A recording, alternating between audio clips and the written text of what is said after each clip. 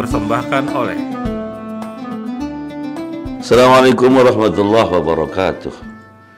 Alhamdulillah Alhamdulillahil qail fi kitabil karim. A'udhu billahi minasyaitanir rajim. Syahrul Ramadan alladhi unzila fihi al-Qur'an hudan lin-nas wa bayyinatin minal huda wal furqan. Amma saudara-saudaraku pecinta Ramadan, pecinta Al-Qur'an di dalam rukun iman itu ada salah satunya yang keenam. Kita sebagai orang muslim wajib beriman akan datangnya hari kiamat. Nah hari kiamat itu kapan kita tidak tahu. Tapi yang jelas Ketika Rasulullah ditanya oleh para sahabat minta penjelasan tentang hari kiamat. Hari kiamat itu saat di mana malaikat Israfil meniup trompet sangkakala, maka dunia semuanya akan menjadi hancur.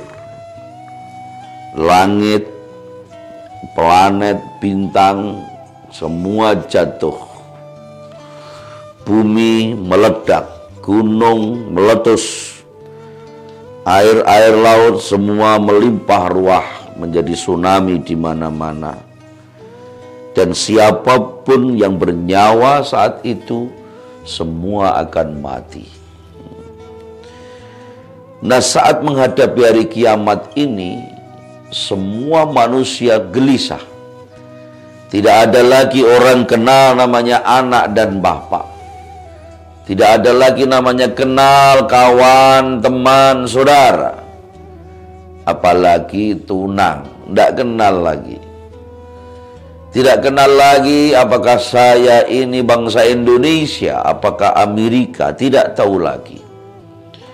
Karena saat itu semua manusia memikirkan akan nasibnya dirinya masing-masing.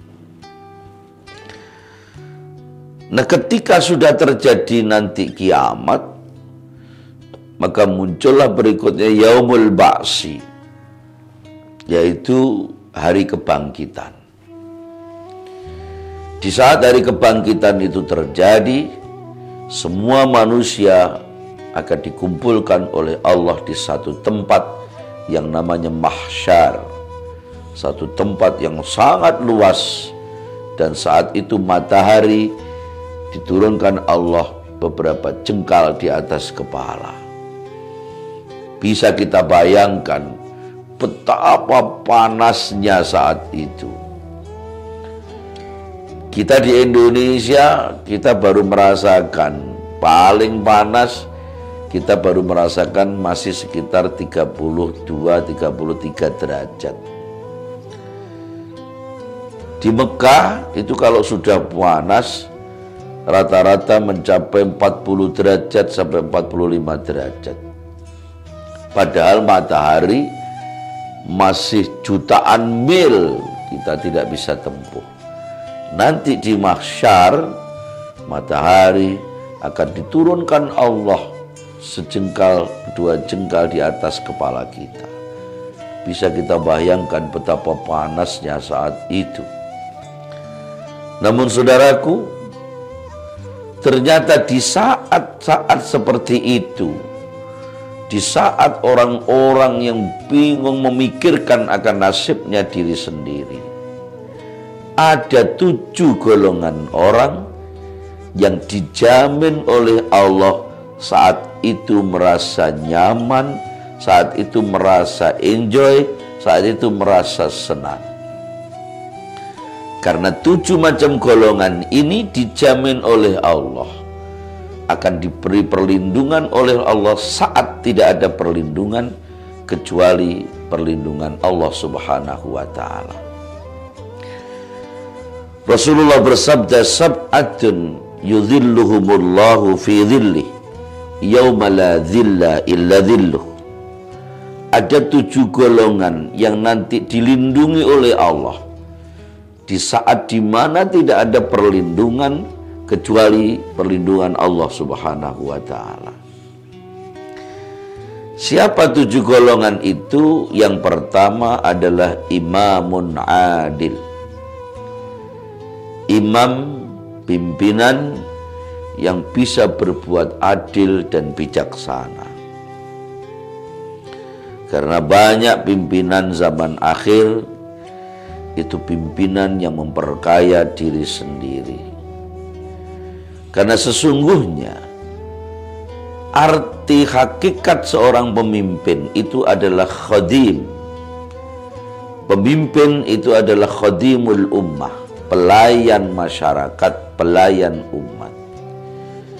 Tapi kenyataan yang terjadi di sekitar kita, pimpinan adalah minta dilayani oleh masyarakat.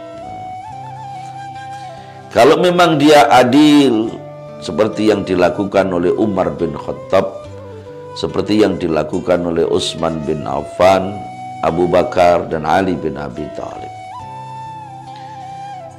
Bahkan ketika Abu Bakar dilantik menjadi khalifah, pidato pertama beliau ucapkan inna lillahi wa inna ilaihi roji'un. Apakah pimpinan sekarang juga seperti itu? Mereka begitu di pilih menjadi pimpinan belum sampai dilantik sudah syukuran besar-besaran. Alhamdulillahi rabbil alamin.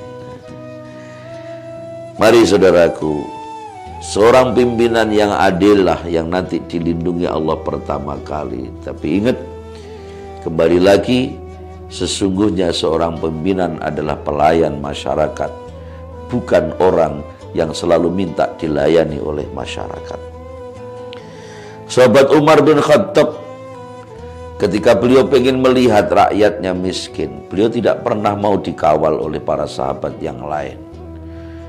Bahkan ketika beliau menemukan ada seorang wanita janda, dia tidak bisa makan, nggak punya suami, sampai ngais-ngais beras di pelabuhan. Umar tahu itu, dia mengeluh karena itu adalah katanya kesalahan Umar. Saat itu juga Umar pulang ke rumah. Dia ambil beras, dia angkut sendiri beras itu. Dia berikan kepada wanita rakyatnya. Kenapa? Umar tidak mau ditolong sahabat jangan karena takut dosanya tidak diampuni oleh Allah Subhanahu wa taala. Ali bin Abi Thalib ketika beliau menjadi khalifah ada tamu. Ditanya oleh Ali bin Abi Thalib, "Wahai tamu, Anda datang ke sini ada kepentingan dengan saya pribadi atau ada kepentingan kaitan pemerintahan?" Ternyata tamunya menjawab, "Anu Pak Ali, ini kaitan pribadi." Baik, kalau kaitan pribadi kita bercakap-cakap lampunya pakai lilin saja. Lu kenapa Mas Ali? Mas Ali kan khalifah. Kenapa tidak pakai pakai lampu petromak? Mohon maaf, Pak. Lampu petromak itu minyaknya dari minyak negara.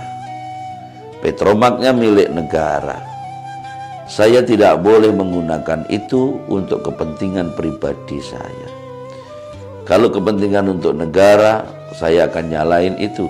Tapi kalau kepentingannya urusan pribadi, saya hanya punya nyala lilin ini. Subhanallah, betapa adil dan bijaksana wirainya para pemimpin-pemimpin zaman dulu. Mudah-mudahan ke depan kita akan punya pemimpin-pemimpin yang mencontoh para pemimpin-pemimpin yang adil, karena mereka lah ternyata nanti di garis depan yang akan dilindungi oleh Allah Subhanahu wa taala. Kita teruskan pada pertemuan berikutnya. Mudah-mudahan kita semua selalu dilindungi Allah Subhanahu wa taala.